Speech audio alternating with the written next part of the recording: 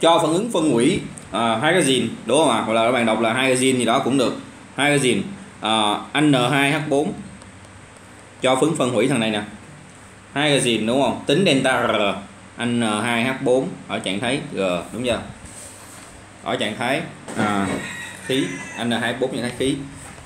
G nè tạo ra N2 trạng thái khí cộng cho H2 trạng thái khí cân bằng là tới 2H2 ha. Rồi, ok. Thì người ta bảo là tính delta R theo năng lượng liên kết của phấn. Tính delta R theo năng lượng liên kết. Năng lượng liên kết thì các con phải vẽ được cái công thức cấu tạo của nó. Rồi, ok, chúng ta vẽ công thức rồi thôi. N2H4 thì các bạn vẽ như thế nào? N2H4 thì mình vẽ. N nè. H nè. H nè. Xung quanh nitơ, xung quanh nitrogen trong trường hợp này thì cũng có. Mỗi nitơ, mỗi N sẽ có 3 liên kết ha. Dạ, rồi NH4 đấy. Rồi tương tự N2 thì kinh điển này đúng không? Thuộc lòng rồi. H2 thì chúng ta có là đây H2 rồi, ok, rất là hay. Rồi, mình có ờ, như thế này ha, nhưng mà nhớ là 2H2 nha. Rồi, chúng ta có các thông số. Có cái thông số về cái cái cái cái ờ, năng lượng liên kết tụi này mà trong đề nó cũng có sẵn rồi, đúng không? Các bạn trai trong tài liệu của tôi thì ờ, những thông số này có vẻ nó cũng tương đối giống. Ví dụ như cái năng lượng liên kết của anh liên kết NH ấy.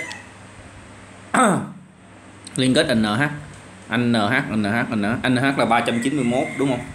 Ừ, đúng này đúng là 391 này 391 mà 391 391 4 cục 391 luôn các con. Rồi liên kết N gạch N.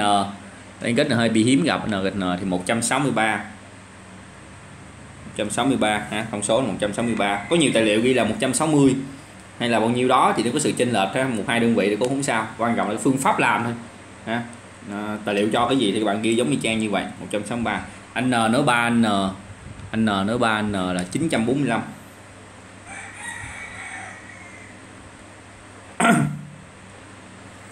945 rồi ở đây thì à, liên kết H gạch H. H gạch H là 432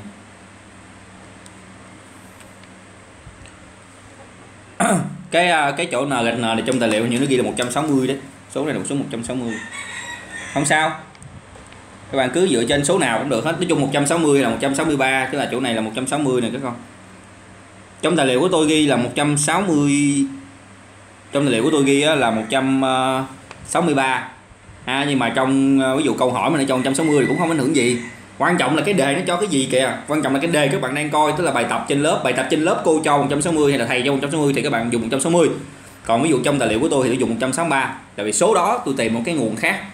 Ok ha, thế nên chúng ta không có đắn đo tại sao mà thầy ra kết quả khác, con ra kết quả khác. Tính năng lượng hóa học này nó sẽ có sự thay đổi, tùy thuộc vào cái nguồn các bạn coi, tra cứu cái năng lượng liên kết hoặc là nhiệt tạo thành ở đâu. Chắc chắn sẽ có sự thay đổi, đảm bảo luôn. Thầy cô nào cũng có cái số tài liệu, nó sẽ cái nguồn tài liệu của cái thông số nó sẽ khác nhau, quan trọng là phương pháp bấm rồi chúng ta có cái thông số này rồi chúng ta gấp số chúng ta làm đây tính delta r đúng không? Vậy này mình có delta r delta g h 2 ờ, delta g h 298 này các bạn tự ghi nha. Lúc này delta g sẽ bằng gì? Dựa trên năng lượng liên kết thì là đầu trừ sau. Tức là tổng EB của chất đầu trừ cho tổng EB của à, sản phẩm. Thường người ta ghi sản phẩm chứ người ta không ghi chất sau á sản phẩm chất sau cũng đúng. Rồi người ta gáp đi thôi. EB của chất đầu thì à, mình có là EB của chất đầu. Chất đầu thì mình có là nguyên cục này nè, thấy không? Dưới đây mình có là 391 nhân 4 cộng cho 160 là một cục. Rồi các bạn trừ cho cục tiếp theo là trừ cho sản phẩm. Đây là nguyên cục sản phẩm nè.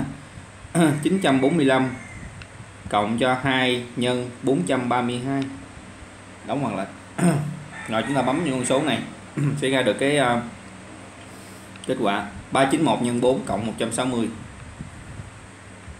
391 nhân 4 cộng 160 trừ cho mở ngoặc. Cái này chính là chất đầu này ha. Còn cái này chính là sản phẩm này ha. Cái này thì khỏi ghi chú nữa đúng không? 945 cộng 2 nhân 432 rồi chúng ta ra được là à, âm 85 âm 85 đúng không ạ? Âm 85 âm 85 kJ rồi chúng ta ra âm 85 kJ rồi đây là một cái phương trình phấn tỏa nhiệt đúng không ạ? Đây tất nhiên rồi đây là phương trình tỏa nhiệt. Nhỏ không? Đây là phương trình tỏa nhiệt rồi. Hydrogen là một à, rồi chúng ta có thể trả lời được câu B được rồi đấy ha? Nếu như chỗ này các bạn bấm là nè lưu ý nè cái con lưu ý này nha. Nếu như chỗ này các con bấm là 163 theo tài liệu của thầy thì lúc này các bạn bấm chỗ này á, là sẽ ra được là âm 82 đúng không? Âm 82 kJ nhưng mà tài liệu cho 160 thì bạn bấm 160 cũng được. Âm 82 kJ và âm 85 kJ nó cũng không có chênh lệch gì nhiều đúng không ạ? Và các thầy cô làm sai số họ cũng sai số khoảng chừng một hai đơn vị hoặc là bốn năm đơn vị là cùng thôi. Chứ là sai số không có nhiều lắm đâu đối với cái năng lượng liên kết này tôi đảm bảo không có thầy cô nào giống thầy cô nào. Ở cái bộ tài liệu về cái mức năng lượng liên kết hoặc là nhiệt tạo thành họ cho sẵn trong tài liệu học của các nhóm học thêm của họ. Chắc chắn là không không không không có không có uh, giống nhau nha. Điều này bình thường. Rồi chúng ta có này xong thì chúng ta kết luận thôi vậy là xong rồi đấy. Rồi hydrogen là ý B nha mình sửa ý B. Hydrogen là uh, chất lỏng ở điều kiện thường sôi ở bao nhiêu đó. Hãy đề xuất lý do vì sao n bốn được sử dụng làm nhiên liệu trong động cơ tên lửa là nhiên liệu đẩy trong động cơ tên lửa đúng không? Lý do vì sao. Ở đây chúng ta có những cái từ khóa quan trọng ví dụ như các bạn thấy là ở đây đề nó yêu cầu là hydrogen là chất lỏng. Nó dùng làm nhiên liệu trong động cơ tên lửa thì các bạn hiểu là khi một tên lửa mà nó muốn bay lên tôi xóa cái ý OB xíu nha. Tôi xóa cái delta G này xíu tôi giữ được cái phương trình thôi à. hồi nãy là mình à, uh, rồi xóa trên cái chỗ đó đi. Những liên kết này cũng không cần thiết à, trong giải thích cái câu B này. Mình có cái delta rồi đúng không? Hồi nãy mình tính ra rồi các con tính ra cái phương trình rồi. Delta h298 độ gì đó bằng nhớ ghi đầy đủ nha này tôi ghi tắt nha. Delta R sẽ bằng. Âm 85 đúng không ạ vậy suy ra này là phương trình tỏa nhiệt tại vì nó nhỏ không? Âm 85 kJ à, rồi ok ha. Âm 85 kJ là phương trình phẫn tỏa nhiệt. Rồi mình giữ mấy thông số này lại. Mình lý giải chỗ này. Các bạn hiểu là cái tên lửa. À, tên lửa dễ xấu quá. Cái tên lửa chúng ta như kiểu gì? Đúng không? Kiểu gì? Tên lửa thì lúc này chúng ta cần một cái nguồn, một cái lực đẩy từ buồng nhiệt để có thể phóng cái tên lửa. Đúng không? Cần một cái lực đẩy để phóng cái tên lửa. Cần một cái lực đẩy mạnh làm nhiên liệu của chất nào đó, ha, để đẩy cái tên lửa này ra khỏi cái cái trái đất và phóng ngoài vũ trụ, đúng không ạ? Thì cái thằng N24 thì dùng làm nhiên liệu tên lửa, động cơ đẩy, động cơ đẩy trong tên lửa, ha, động cơ tên lửa. Thì lý do vì sao? Thứ nhất là các bạn thấy cái từ khóa đầu tiên, đó là nó mô tả, thứ nhất là chất lỏng rồi thấy không? Gì? N24 là chất lỏng chất lỏng thì sao? Dễ bảo quản. Nếu như tôi là một chất khí thì lúc này các bạn bảo quản các bạn có thể dễ bị va đập. Chất khí thì dễ bị va đập và nó sẽ dễ gây dễ làm cho nó nổ đúng không ạ? Khi mà ở áp suất cao á thì lúc này sẽ dễ nổ đúng không ạ? Dấu cộng đầu tiên. Dấu cộng đầu tiên thứ nhất là lỏng. Thì lúc này á, các bạn ghi là gì? Dễ bảo quản. Này tôi uh, lý giải nhanh nha dễ bảo quản. Nếu như dạng khí thì dễ nổ đúng không ạ? Dễ bảo quản. Rồi ok thứ ở trạng thái lỏng như đó thứ nhất dễ bảo quản thường các bạn thấy mấy hóa chất trong phòng thí nghiệm của, người của mình á thường cũng hay tồn tại dạng lỏng hoặc gắn. Chứ ít ai chữ hóa chất ở dạng khí lắm. lỏng hoặc gắn nó sẽ dễ bảo quản hơn. Rồi ở dạng lỏng dễ bảo quản thứ hai cái dữ kiện thứ hai tiếp theo mình thấy là cái khối lượng riêng của nó. Các con để không? Cái khối lượng riêng của nó là 1,021 gram trên cm khối. Vậy đây là một hợp chất nó như thế nào? Nhẹ. Nên khi chúng ta vận chuyển sẽ tiêu tốn ít năng lượng. Đúng mà thằng này là một thằng rất là nhẹ. Tức là khối lượng riêng nhỏ khối lượng riêng thường người ta ký hiệu là chữ D. Khối lượng riêng nhỏ. Do đó thằng này nó sẽ làm sao? Nhẹ. Và dễ vận chuyển. Dễ chuyên chở dễ vận chuyển. Không tiêu tốn nhiều năng lượng. Không tốn nhiều năng lượng. Chữ E tôi biết tắt là energy năng lượng. Rồi D nhỏ do đó dẫn đến nó nhẹ.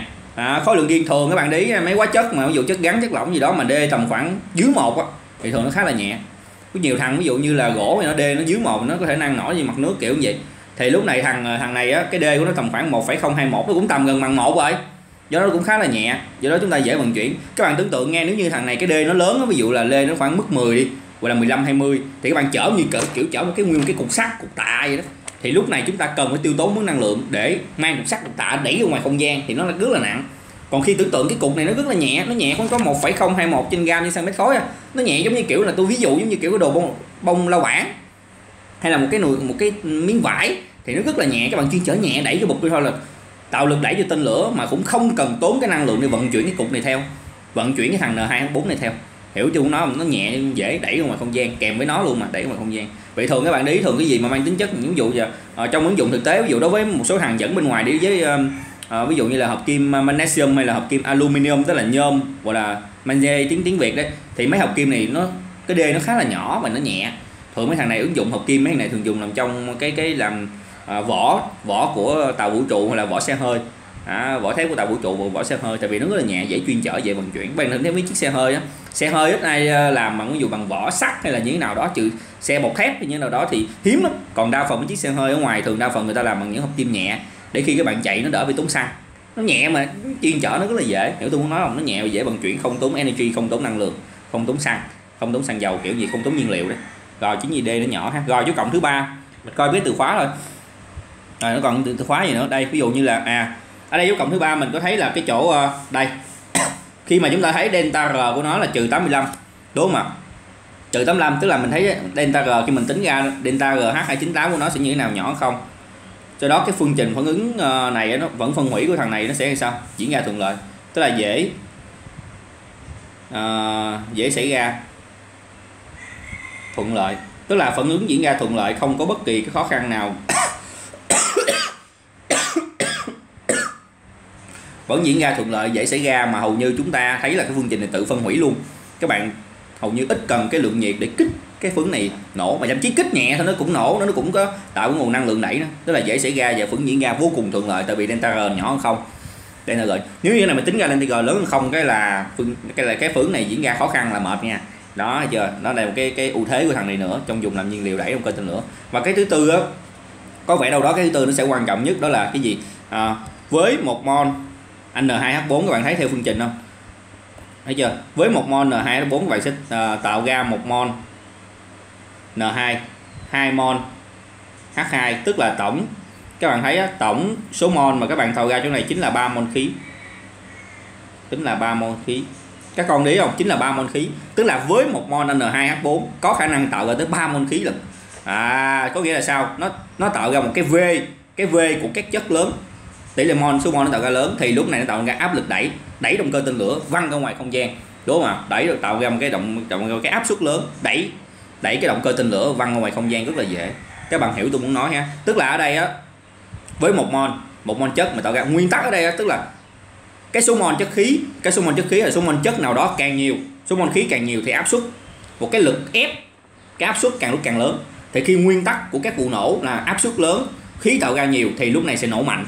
Và lúc này nổ mạnh thì tạo cái lực cực đẩy lực đẩy cực kỳ mạnh đẩy tàu vũ trụ văng ra ngoài không gian. Tức là các bạn có thể ghi là như các bạn dít vào đây, một mol gì đó. Đúng không ạ một mol n2h4 nếu như nó ở thể lỏng thì thể tích chiếm cũng không nhiều. Còn ở thể khí thì hiển nhiên nó chiếm cũng có đấy, nhưng mà nó cũng không nhiều bằng. Nó cũng không nhiều bằng ba lần kia, đúng không? Một mol n2h4 có khả năng tạo tới 3 mol khí. 3 mol khí, trong đó có một mol khí n2 và hai mol khí h2 dựa trên phương trình đó. Được chưa? Thì lúc này tạo với 3 mol khí thì lúc này sẽ làm gì? Đó là tạo ra một cái áp suất lớn. Tạo áp suất lớn. Là đúng là tạo ra một cái lực đẩy mạnh lực đẩy mạnh. Đẩy đẩy tên lửa đẩy tên lửa đẩy tàu vũ trụ. À, văng ra ngoài đẩy tên lửa đẩy tàu vũ trụ à, ra ngoài không gian. Ok.